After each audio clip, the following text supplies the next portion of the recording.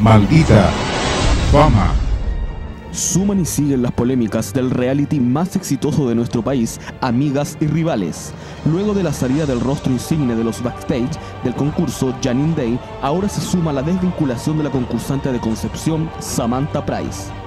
La salida se debe a la inasistencia de la transformista a una noche de reality, debido a no encontrar pasaje para viajar a Santiago a raíz de ser fin de semana largo. Mira, igual es como súper complicado lo que pasó hoy porque no sé si fue injusto o no, pero eh, las cosas son como claras, debería, debería haberse eliminado porque todas tenemos un comodín. Eh, mira, yo como lo dije en el backstage, a mí me da, eh, me da lata de que la Samantha haya tenido que haber salido de esta forma. Pero yo soy consciente y a mí en lo personal me gustan las cosas claras y como corresponden. Ella ya había solicitado anteriormente su comodín, por ende ya no tenía más comodines. Ese día faltó, si tuvo problemas anexos, no sé, ya eso no, no, no es tema mío, pero ella tendría que haber sido la eliminada ese día. Ella, ninguna otra. Samantha Price está eliminada del reality porque no pudo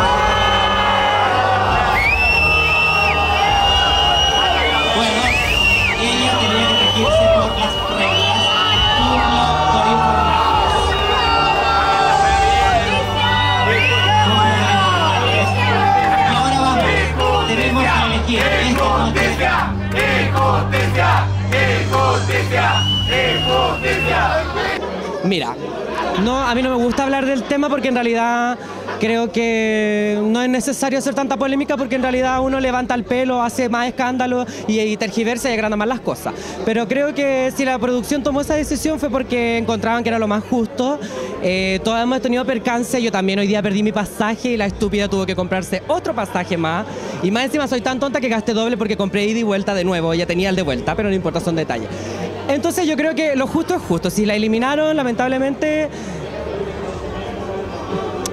Adiós, tía Sofía. O sea, tía Samantha, perdón. Ay, se fueron todas. Lo de Samantha es lamentable. Yo estoy de acuerdo en, en algunos aspectos que ella debe cumplir con lo establecido porque si no se genera igual, eh, no solo por Samantha, por cualquier participante, se genera al final el- la confusión de que ah, no nos falta nomás, total, después te perdonan y todo eso. Yo no sé en qué trato eh, llegó ella con, con la producción, acá y Fausto, pero si ella faltó y no cumplió por respeto a las demás participantes, yo creo que obviamente es lamentable que ella se vaya, pero tiene que acatar lo que es justo y asumir las consecuencias de, de no haber coordinado, calculado con antelación su venida al, al concurso.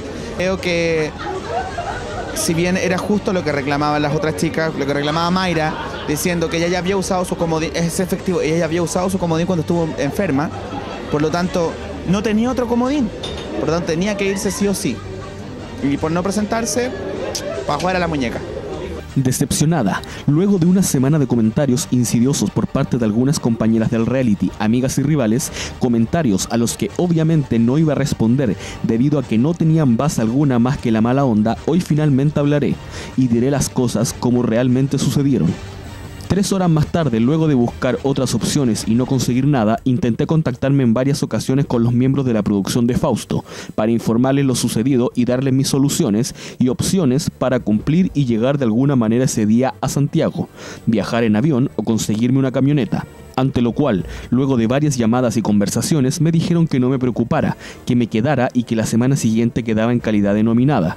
Decisión que para mí, si bien no era la ideal, ya que nunca me ha gustado faltar y siempre he estado dispuesta a competir, acaté.